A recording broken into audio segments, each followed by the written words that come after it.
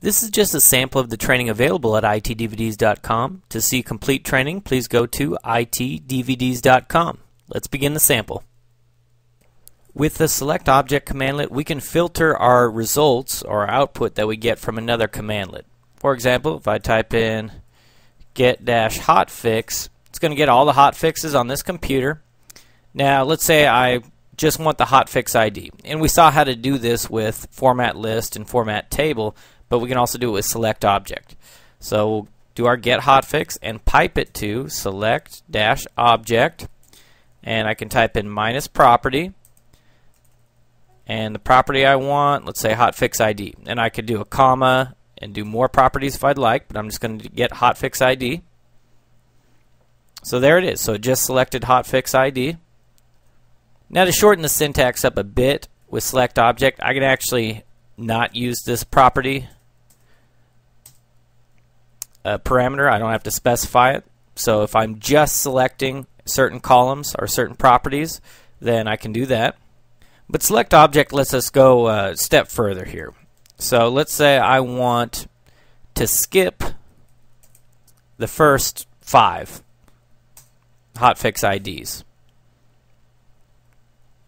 So it actually did that. It skipped the first five and list everything after it. I could also just select a certain one. So if I just run get hotfix here,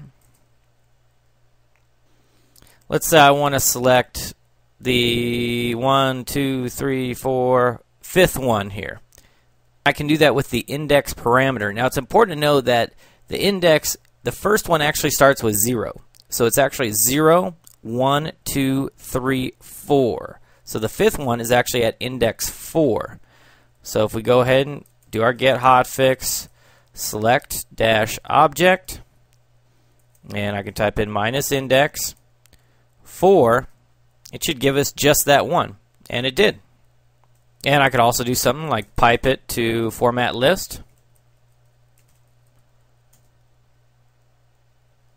Now what about if I'm selecting, uh, you know, a lot of objects here, or I'm running a commandlet that returns a lot of objects, and a lot of them are duplicates. I just want to see the unique values, or unique entries. Well, we can do that.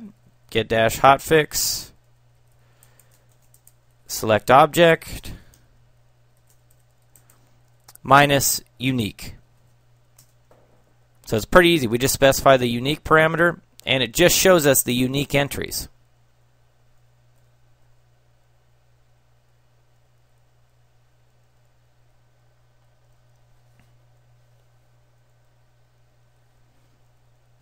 Now what about if I just want the first five or the last five? Well, I can do that as well. Instead of unique here, we'll go first five. It's going to give me the first five. And if I want the last five, I can just specify the last five. So one thing to note with the select object, you may see it uh, just typed as select. So you can do that as well. But it is using the select object commandlet when we do that.